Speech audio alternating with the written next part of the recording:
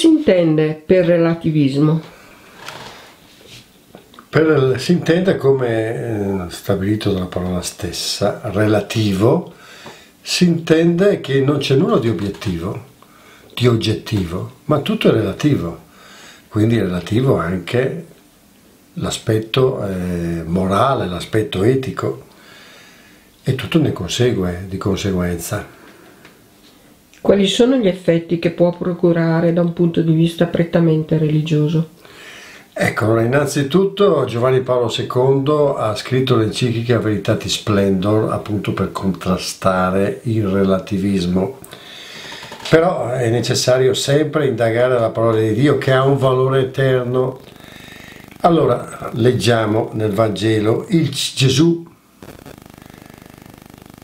ha detto eternamente, il cielo e la terra passeranno, ma le mie parole non passeranno. Matteo 24, 35.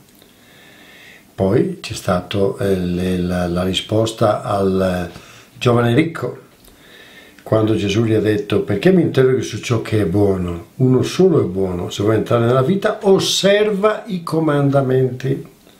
E nei Corinzi, quindi parla lo Spirito Santo, capitolo 6, capoverso 9-10, o non sapete che gli ingiusti non erediteranno il regno di Dio? Non illudetevi, né immorali, né idolatri, né adulteri, né effeminati, né sodomiti, né ladri, né avari, né ubriaconi, né maldicenti, né rapaci, erediteranno il regno di Dio.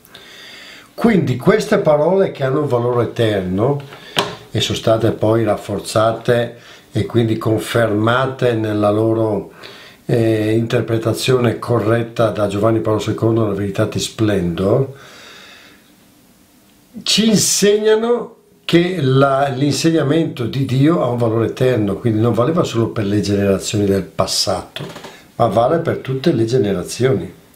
Ciò che era male, che è stabilito dalla scrittura sia male, continua anche adesso mentre il relativismo fa intendere che a secondo delle opinioni una, un comportamento possa essere sbagliato dal punto di vista chiaramente teologico, dal punto di vista biblico, religioso, può essere sbagliato oppure no.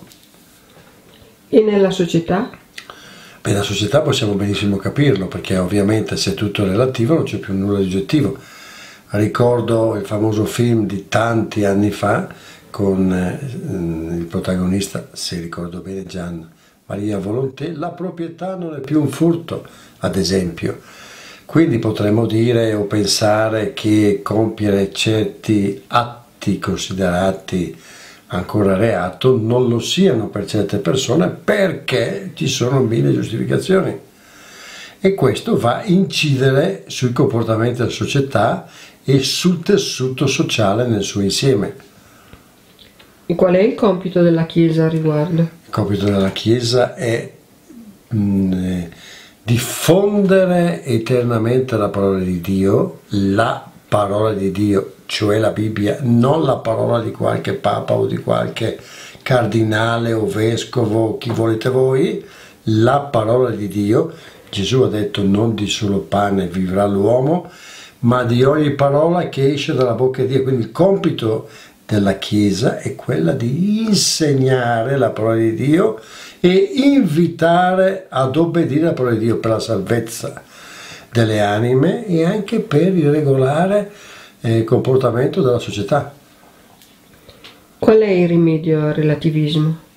Innanzitutto basarsi sull'eterna parola di Dio, sapendo che noi saremo tutti giudicati dalla parola di Dio e non dal modernismo o dalle teorie moderniste, perché altrimenti Dio sarebbe ingiusto, perché non si capirebbe per quale motivo le persone eh, del passato debbano essere giudicate secondo la parola di Dio e invece quelle moderne no.